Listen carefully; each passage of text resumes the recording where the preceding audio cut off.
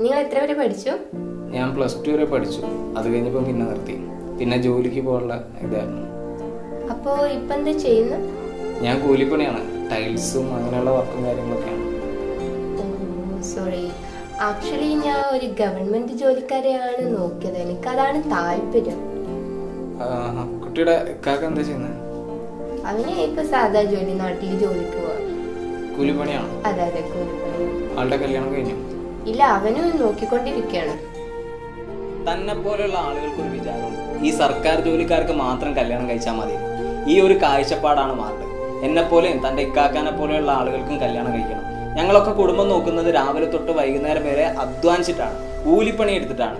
ഞങ്ങളുടെ വീട്ടിൽ പട്ടിണിയും കാര്യങ്ങളൊന്നുമില്ല. ഒരു പെണ്ണിനെ അന്തസ്സായിട്ട് നോക്കാനുള്ള കഴിവും കാര്യങ്ങളൊക്കെ ഞങ്ങൾക്കുണ്ട്. അങ്ങനെ ഉദ്ദേശിച്ച് പറഞ്ഞൊന്നുമല്ല. ഞാൻ എന്റെ ഒരു കൺസെപ്റ്റ് പറഞ്ഞതേ ഉള്ളൂ. ഞാൻ പ്ലസ് ടു കഴിഞ്ഞ് പഠിത്തം നിർത്തി എന്ന് പറഞ്ഞപ്പോൾ തന്റെ മുഖത്ത് ഒരു പുച്ച ഭാവം ഉണ്ടായിരുന്നില്ല. എന്തുകൊണ്ട് ഞാൻ പ്ലസ് ടു കഴിഞ്ഞ് പഠിത്തം നിർത്തിയെന്ന് നീ ചോദിച്ചോ? ഒരുപാട് കഷ്ടപ്പാടുണ്ട്. വീട് നോക്കാൻ വേണ്ടിയിട്ട് നിർത്തിയ അങ്ങനെ ആ ഓരോ ചെറുപ്പക്കാരനും അവന്റെ പഠിത്തവും അവന്റെ സ്വപ്നങ്ങളൊക്കെ ഉപേക്ഷിക്കുന്നത്. അതൊന്നും നിങ്ങൾ കാണരുത്. നിങ്ങൾക്ക് സർക്കാർ ജോലിക്കാരൻ മാത്രം മതി. എനിക്ക് എന്തായാലും നിന്നെ ഇഷ്ടമായി ഏഹ് അപ്പോൾ നിനക്ക് ഇഷ്ടമാണ് നീ നിന്റെ വീട്ടുകാരോട് പറയാം പറഞ്ഞിട്ട് അവർക്ക് സമ്മതമാണെങ്കിൽ നമുക്കിത്